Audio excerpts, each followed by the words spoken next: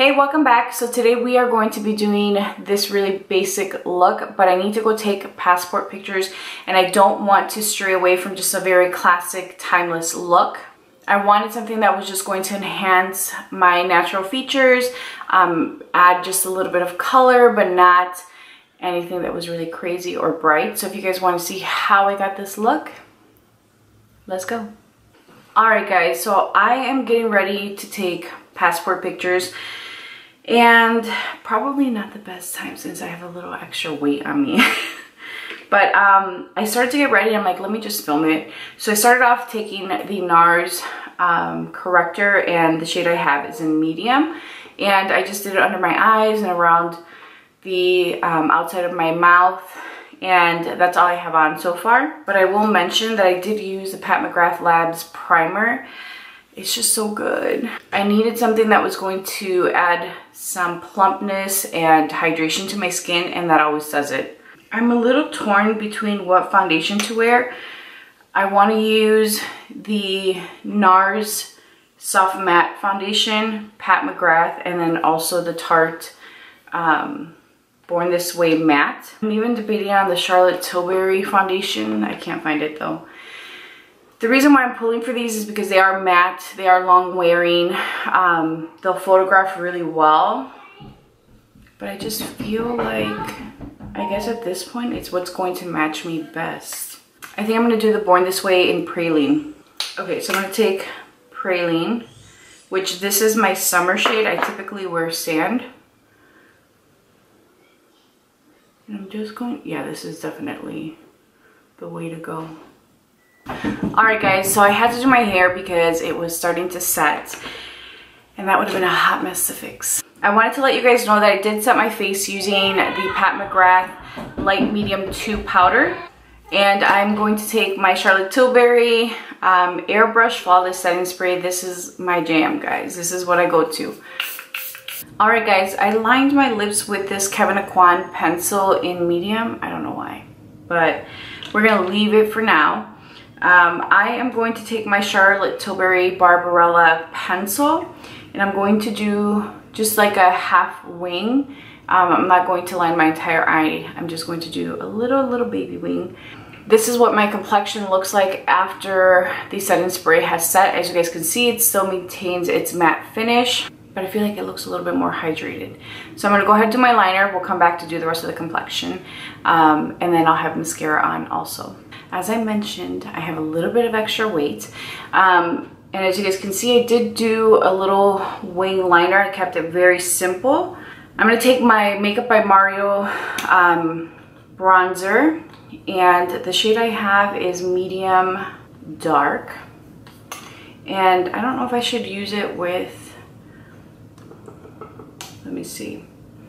I think I'm just going no, I'm gonna use my brush. So I'm gonna use my brush, load it up with the bronzer. Yeah, that was a good call.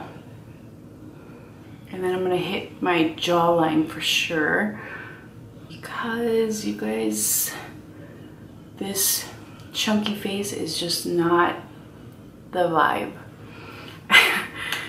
I didn't realize that our passports were expired, so we're taking a trip and I have to quickly renew my passport. My husband does too. Our son has never had a passport, so he'll be getting one. And um, I'm like, man, this is freaking perfect timing. It's gonna be 10 years of that passport picture looking like a chunky monkey. So I wanna try and make my face look as slender as possible. I'm gonna take the same brush and then just run it on the sides of my face, my nose. I'm also going to take just my foundation brush and lightly clean up these edges. I'm loving the way that this looks. I'm gonna take his bronzer also in medium dark and I am going to just reinforce what I've already placed. So for my blush, I'm going to be using this Orgasm on the Beach palette by NARS. Guys, this palette is just stunning. Um, I think just based on what I'm wearing, I think I'm gonna make, use this. I'm gonna go in lightly. I love how sheer these are. Like you can definitely build them up and you're going to get really intense payoff. But initially, they're very soft to work with. I'm gonna bring this up into my temple a little bit. So as I mentioned, I went in with this Kevyn Aucoin lip pencil in medium. I'm looking at this liner and I need to go in and just deepen it a little bit. So I like using my MAC 210 with this when creating a wing liner. It just gives me more control. I'm going to take Lisa Eldridge Velvet Beauty, which I think matches my dress beautifully. Alright guys, and this is the final look. Alright guys, so here's the final look. As you guys can see, it's very simple. I just enhanced my natural features. But as I'm looking at this, I'm going to take a little bit of the Patrick Ta bronzing powder and just lightly define my crease.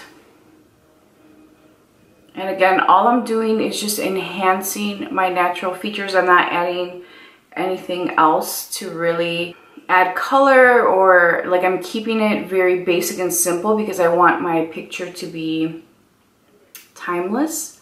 I don't want it to look like I have on a ton of makeup or really bright colors. Like just keep it very simple. I will be doing another get ready with me. Um, I feel like that's what I've been doing these days. Um, but I have a maternity shoot tomorrow and I have literally been trying to think about how I'm going to do my makeup and I want to use a little bit of color and shimmer but we'll see. It might end up being basic like this. Sometimes you can't fight a classic look. All right here we are I hope that you guys enjoyed this. Please be sure to subscribe, hit that notification bell, and like this video. Please leave a comment down below letting me know if you have any recommendations for upcoming videos, and I will talk to you guys soon. Bye.